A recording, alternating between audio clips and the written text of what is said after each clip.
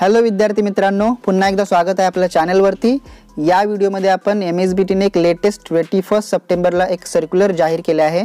त्याबद्दल जाणून घेणार आहोत. हे सर्क्युलर जे विद्यार्थी शैक्षणिक वर्ष दोन हजार वीस एकवीसकरिता कॅरी फॉरवर्ड अंतर्गत प्रवेशित विद्यार्थ्यांच्या असलेल्या बॅकलॉग विषयांच्या परीक्षेबाबत आहे. तर यांनी दोन संदर्भ पण या ठिकाणी दिलेले आहेत. मागच्या काही परिपत्रकांचे.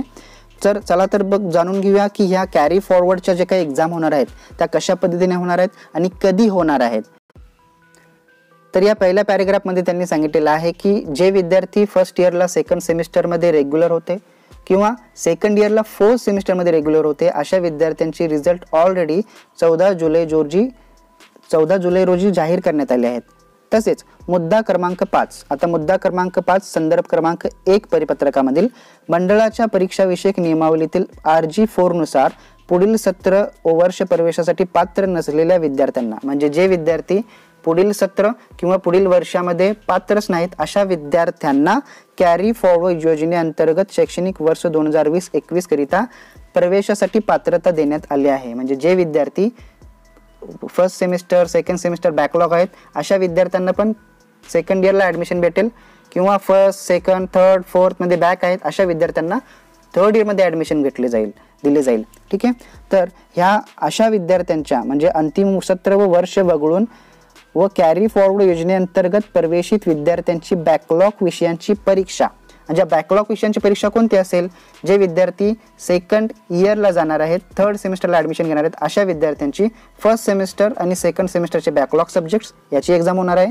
जे विद्यार्थी थर्ड इयरला ॲडमिशन घेणार आहेत जसं की फिफ्थ सेमिस्टरला ॲडमिशन घेणार आहेत अशा विद्यार्थ्यांची बॅकलॉग एक्झाम्स म्हणजे ती first semester second semester third semester आणि फोर्थ सेमिस्टरचे जितके पण बॅकलॉग्स एक्झाम आहेत त्या विषयांची परीक्षा ही होणार आहे. ठीक आहे? तर ती परीक्षा कधी होणार आहे? शैक्षणिक वर्ष दोन हजार वीस एकवीसचे विषम सत्र संपण्यापूर्वी. म्हणजेच पाचवी सेमिस्टर ही विषम सं विषम सत्र आहे. तर या सत हे ऑलरेडी पाचवी सेमिस्टर सुरू आहे. तर या सेमिस्टर संपण्यापूर्वी ही एक्झाम होणार आहे. आणि गुड न्यूज ही आहे की ही एक्झाम संस्था स्तरावरती घेण्यात येणार आहे. ठीक आहे? तर हे मंडळाने एम एस बी टीने अगोदरच तुम्हाला जाहीर केले आहे की जेणेकरून तुम्ही आत्तापासूनच अभ्यासाला सुरुवात करा. ठीक आहे? तर लक्षात ठेवा जे विद्यार्थी बॅक जे विद्यार्थी कॅरी फॉरवर्ड आहेत अशा विद्यार्थ्यांची एक्झाम ही होणार आहे. ठीक आहे? नवीन काही अपडेट्स आले कधी होणार आहे ते मी ऑलरेडी या पर्टिक्युलर व्हिडिओ थ्रू तुम्हाला देईनच. ठीक आहे? तर ह्या लक्षात ठेवा की जे हे सर्क्युलर अशा विद्यार्थ्यांसाठी जे विद्यार्थी कॅरी फॉरवर्ड होऊन नेक्स्ट इयरला जाणार आहेत. ठीक आहे?